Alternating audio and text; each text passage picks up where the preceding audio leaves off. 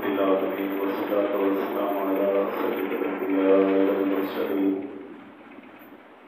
وعلى آله وأصحابه وأهل بيته أجمعين أما بعد أعوذ بالله من الشيطان الرجيم. بسم الله الرحمن الرحيم. وأنتم الأعلون إن كنتم مؤمنين. صدق الله العظيم.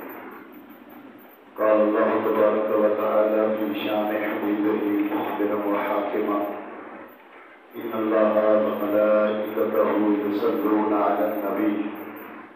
يا أيها الذين آمنوا صلوا عليه وسلموا تسليما۔ درود پاکر اللهم صل على سيدنا ومولانا محمد وعلى آل سيدنا ومولانا محمد وبارك وسلم۔ وعزم لكم والصلاة والسلام عليك يا رسول الله وسلم عليك يا حبيب الله۔ الصلاة والسلام عليك يا إمام القبلتين وسلم عليك وعلى آلك وأصحابك يا جد الحسن والحسين. مولاي صل وسلم دائما أبدا على حبيبك خير الخلق كلهم. محمد سيد الكونين والثقلين والفريقين من عرف ومن عجم.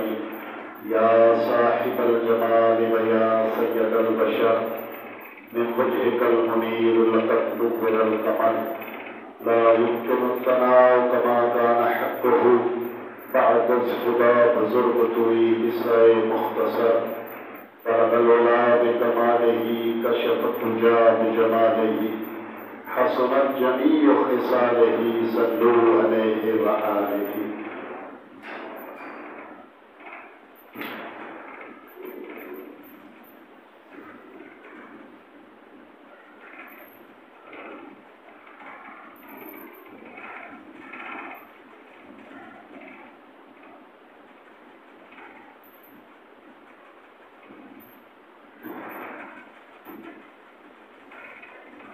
اللہ جل مجدہ کی ہم کو سنا حضور نبی مقرب شفیع معظم تاجدار علم وجہ سرکار مدینہ سرور طلب و سینہ احمد مجتبہ حضرت محمد مصطفیٰ صلی اللہ علیہ وآلہ وسلم کی بارگاہ عظمت دیتا کروڑا مرتبہ درود و سلام پہ نظرانے دوبارہ اللہ کریم کا بے پایا فضل و احسان ہے کہ جس مالک نے سارے جیسے عاجز بندیاں نو اپنی بارگاہ کے اندر حاضری کی توفیق نصیب فرمائے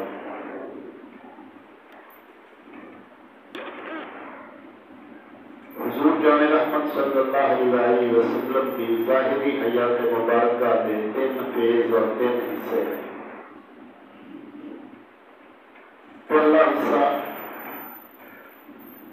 چالیس سالہ کے محیط ہے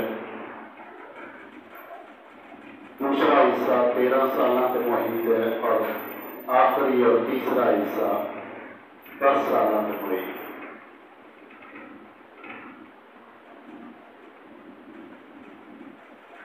علماء فن اور اہل علم نے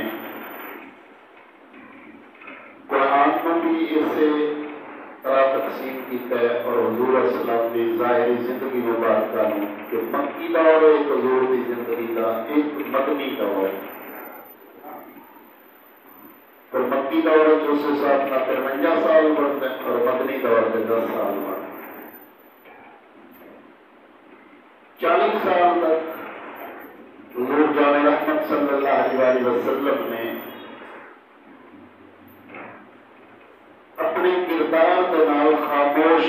فرمائیے۔ ہر وہ ایپ ہر وہ گناہ، ہر وہ نافرمانی، ہر وہ مایوب قسم کی بات جڑی اس دور کے لوگوں